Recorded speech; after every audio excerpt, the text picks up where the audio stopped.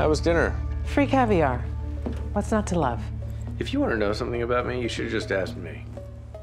Why can't I just be getting to know Mr. Ross the way I got to know you? Because if you're just trying to get to know him, you would have told me about the dinner. Something's going on, and I want to know what it is. An allegation was made that Mike Ross never went to Harvard or any other law school for that matter. So I had him checked out. Squeaky clean. He might have checked out clean, but I know that kid's full of shit. Because there may be a record of him graduating from Harvard Law, but there's no record of him graduating from any college anywhere on the face of the earth. So I'm gonna give you the benefit of the doubt that you didn't know. Because I don't want to do what I would do if you did. And what you're going to do is fire that goddamn kid.